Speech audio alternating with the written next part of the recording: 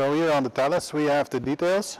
Yes, first we have the first furrow and we go wider and smaller with the plus or minus buttons.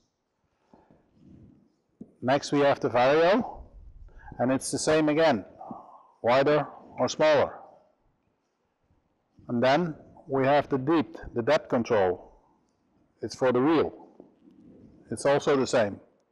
It's very easy to handle and with one touch you can go one centimeter deeper or one centimeter shallower. And then we have the turning, the turning of the plow. It's in degrees, so you have to go one degree more or one degree less.